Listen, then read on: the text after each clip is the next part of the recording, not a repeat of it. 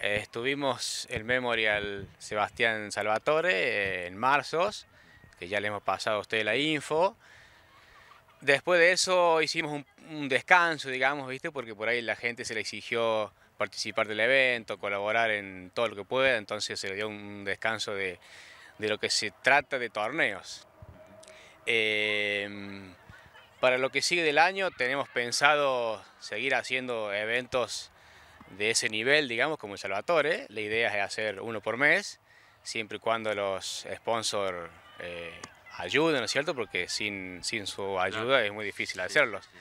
Eh, y después, a nivel institución, eh, hacemos todos los sábados torneos locales se llaman, se invitan a, a los socios para que mantengan la competencia eh, día a día y, y, ese, ese granito de entusiasmo al, al juego.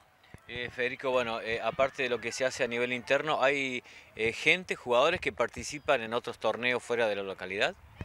Sí, sí, en realidad esto es como un ida y vueltas, o sea, el torneo que hicimos acá, el Salvatore, vino gente de afuera, a nosotros nos hace falta que venga gente de afuera, eh, así como a ellos también les hace falta que la gente de afuera, en este caso el club Velocidad, por ejemplo el fin de pasado se jugó en San Pacho, entonces hizo falta que fueran de, de todos los clubes de la zona a donde se jugara, entonces para llenar, digamos... Sí, devolver la visita poder, y estar en, hacer el encuentro, ¿no? Exactamente, exactamente, porque si en realidad si entre todos los clubes no los ayudamos, se hace muy difícil.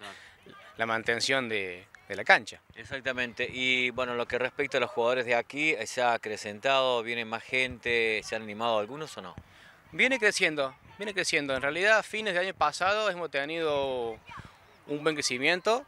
Este año, recién entrando, digamos, al año, viste, con el tema del verano, la gente poco, está un poco media arisca para, para arrancar por el tema del calor, las altas temperaturas. Eh, después, bueno, con el comienzo de clases empezamos de vuelta de cero, pero ahora está, está creciendo y siempre hay gente nueva eh, que tiene la, la inquietud de conocer el deporte.